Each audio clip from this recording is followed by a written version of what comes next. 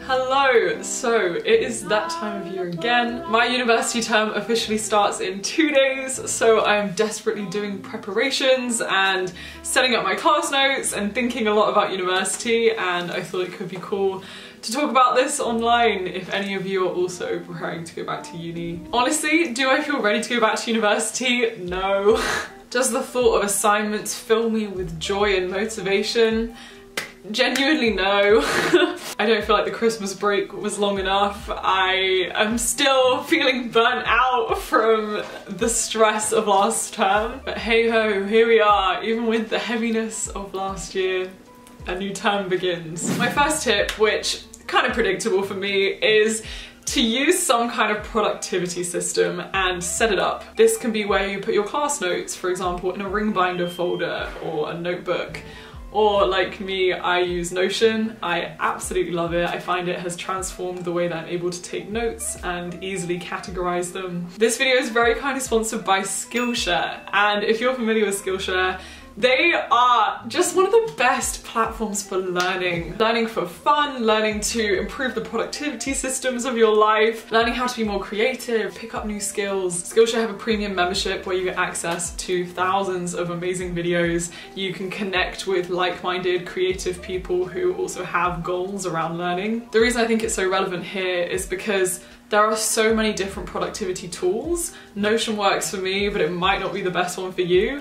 And on Skillshare, they have videos about using Trello, using Todoist, different systems of productivity. For example, here's an amazing course I took by Thomas Frank on his productivity systems. About a year ago, I watched this amazing one on using Todoist and I tried it out for a bit. Personally, for me now, Notion works better, but it just depends on you. So yeah, if you're looking for a productivity system, Skillshare is an amazing place to just see what's on offer, to learn from other people and get productive, I guess. The first 1,000 people to click the link in my description will get Skillshare Premium trial for free. Tip number two, and this is really important not to skip, is to reflect on last term. This is really important because especially when you're going back to university, like You've done it before, you've experienced it, you know what your course is like, you know what your professors were like, if you had to adapt to this style of online learning, You've now done it for a bit. So take a moment to reflect. What went well? What was really rubbish? What can you do better? How can you manage your time better? How can you implement better habits? Also perhaps one of the biggest questions is,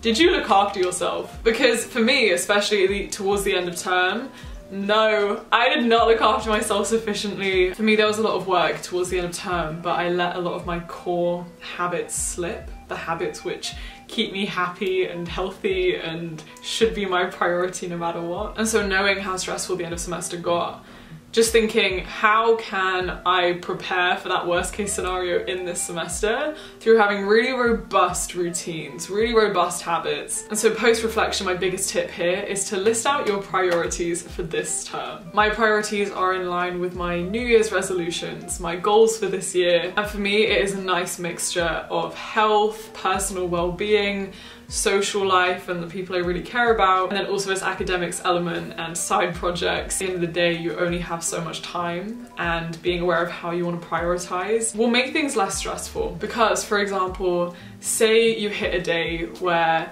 you've just you just don't feel like you've done well in classes. Maybe you've not done as much work as you would have liked to. That might be absolutely okay because if you return to your priority list, your top priority might be mental health. If you choose to go to sleep or do some mindfulness that day, does it matter that the schoolwork didn't perform as well that day as you taking care of yourself? No, because you have told yourself that the priority for that term is your mind. So yeah, just what are your priorities moving into this next term and how can you implement that? Put them on a post-it note, put them somewhere you can see every day, put them into your habit tracker, your Notion, whatever you use. Tip number three, naturally we're going back into the academic world, we're going back into learning. So for me, I've just spent the last few days going over last semester's notes, looking at concepts I struggled with, I've gone over my flashcard sets for spaced repetition, and then for me, I get set a lot of pre-readings. So I have been reading this book that I need to read, I've been reading a bunch of articles, articles. I also have to answer some question prompts. So yeah, if you have a lot of university work to do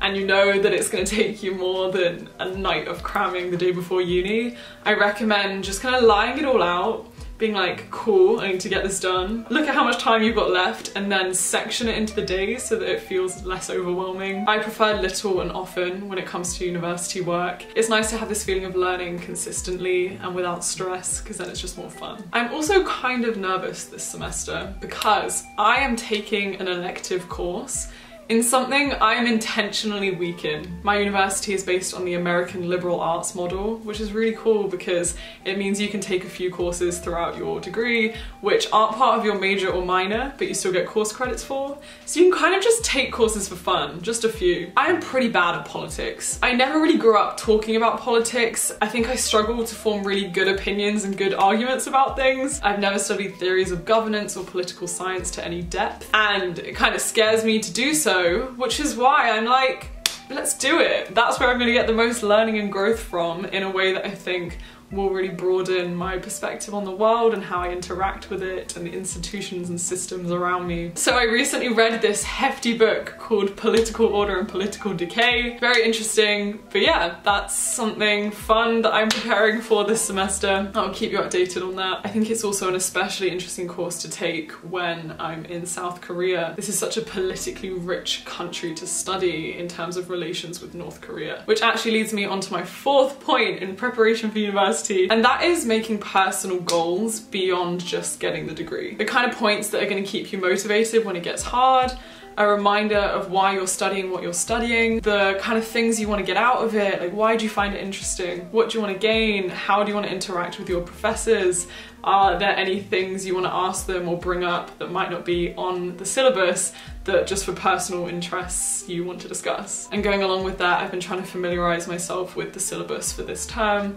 just to kind of have like a roadmap in my head of where we're starting and where we're going. And then finally, number five is routine. Just thinking about what is the ideal routine I want to have? I now know all my class times. I feel like I know myself well enough to know that things like yoga, meditation, exercise really contribute to me functioning as a good human. I, I know that social life is important to me, exploration, if I can do that, is also amazing. So before I get bogged down with too much to do, how do I envision an ideal day in Jade's life in the next term? And then using systems like Notion to track how I'm able to put in that routine. For example, if I know that I function best in the morning, how can I make myself accountable to going to bed early, which is a setup of the morning routine. If I know I want to feel really healthy and active, how can I already put into my day time for good cooking, time for meal prepping, planning my meals in advance. I'm still very obsessed with my blue light glasses as well.